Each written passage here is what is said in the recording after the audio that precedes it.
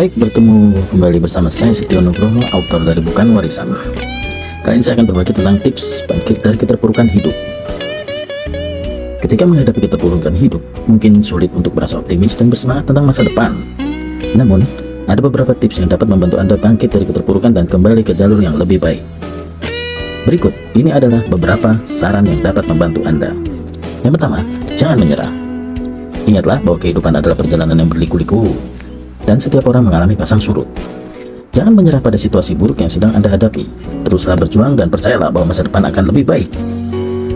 Kedua, fokus pada hal-hal positif. Alihkan perhatian Anda dari hal-hal negatif yang sedang terjadi dan fokuslah pada hal-hal positif dalam hidup Anda. Cobalah untuk menemukan sesuatu yang membuat Anda bahagia atau terinspirasi setiap hari. Yang ketiga, temukan dukungan. Tidak ada yang harus menghadapi keterpurukan hidup sendirian. Ya, kita tidak bisa sendirian Temukan dukungan dari keluarga, teman, atau profesional seperti konselor atau psikolog. Mereka dapat membantu Anda menemukan cara untuk mengatasi tantangan yang sedang dihadapi. Yang keempat, tetap sehat. Jangan lupakan pentingnya kesehatan fisik dan mental Anda. Cobalah untuk tetap aktif dan makan makanan sehat. Istirahat yang cukup dan lakukan kegiatan yang menyenangkan atau relaksasi seperti meditasi atau yoga.